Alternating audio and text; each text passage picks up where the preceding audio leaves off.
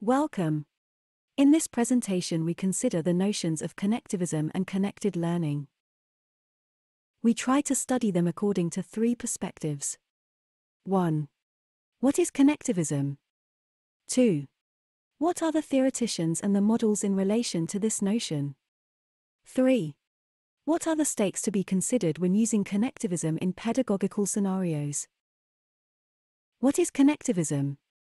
In connectivism, the acquisition of knowledge, know-how, and competences is done with connections to others and to data via digital media.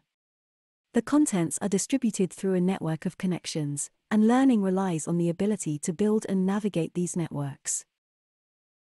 In comparison to the different learning theories, connectivism has some particularities. The learner is active, he, she learns by being connected, practicing, and reflecting. The teacher appropriates and uses digital practices and technologies to promote collaboration, the search for resources, and the creation of content. The connectivist approach is enabled by the Internet and new technologies and moves away from constructivism by defining the contours of distance learning. It is based on the evolutions and opportunities that new technologies offer to learning. Learning evolves in response to online connections, which tends to displace face to face social interactions in favor of technology mediated interactions. Connectivist approaches intensify the power given to technology.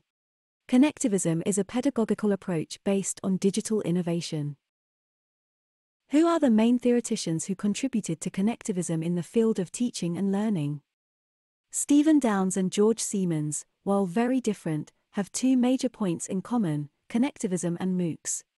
Stephen Downes considers himself a philosopher with a professional interest in online learning, and more specifically in the use of networks for learning. This includes MOOCs and many other forms of open, collaborative, online learning. George Siemens is a trainer with a similar vision of connectivism and both a theoretical and practical interest in online learning and MOOCs. In 2008, Siemens and Downes designed and facilitated the first CMOOC. This led to an often cited distinction between CMOOCs, connectivist, and XMOOCs. The CMOOCs are open, enriched by learner participation and input, with greater use of social networks and other network tools. The XMOOCs, that actually represent most MOOCs, are presented more formally in a traditional course structure, with videos, text, automated assessment, peer review, and social interaction. One can certainly say that Siemens and Downes kicked off MOOCs, but only in the sense that they are the creators of the CMOOC. While it is true that Siemens and Downes offered the first MOOC, it was not the first massive, free, or even open course, a fact acknowledged by Downes. Others, both in the corporate sector and online, had offered such courses. Nonetheless, in this respect, they remain pioneers of MOOCs and online learning.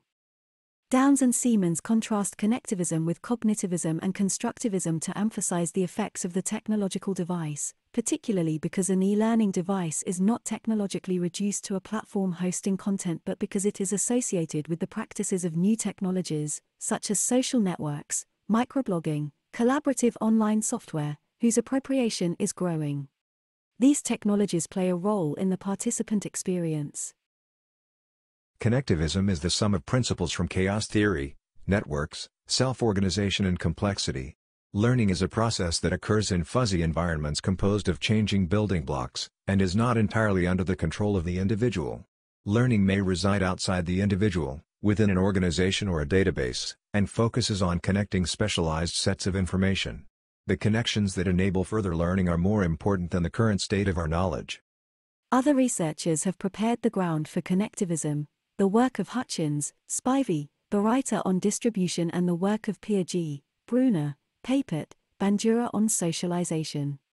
Connectivism attempts to take into account chaos theory by Gleick, network theory by Barabasi and self-organization by Rocher. In France and in Europe the term connected learning is more widespread. Gautier refers to it as a model of learning that attempts to take into account the social changes resulting from technological developments. Meunier and Peraya describe the connectivist learner, during his her online activities, as immersed in social instances of cooperation. Cardon recognizes that it is based on the development of microblogging, which refers to the activity of creating brief content on social networks. The practices are linked to digital nomadism, laptop, tablet, smartphone, etc. For Lebrun and Akitili, this functional interactivity between the learner and the machine is fortunately completed, at the level of learning, with an interactivity between the different users, teachers, and students as co constructors of knowledge. Research is also focusing on communities of learning and practice. Stakes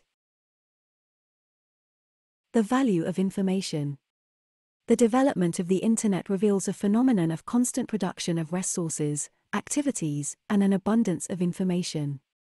The connectivist learner must learn to choose according to his, her values and needs. Sakalaki and the Port specify information is a permanent experience good because it is constantly renewed, either because it becomes obsolete quickly, or because there are informational strategies consisting of creating, acquiring, filtering, conserving, or manipulating information in order to benefit from the annuity linked to its possession. The learner must learn to search, select, modify, and share information. Learn to learn. Manage his her e presence. The Agile teacher is at the center of an active and connected pedagogy. The teacher interacts with his, her learners and his, her communities. Through a connected pedagogical process, he, she proposes practices, cognitive and social strategies and digital resources. Providing feedback and reflexivity, the collective improves the pedagogical device and the learning process. To succeed in his, her connected pedagogy, the teacher must mobilize a number of skills. Some are cognitive, empathy, tolerance, and decentering, others involve their relationship with technology, agility, managing e presence.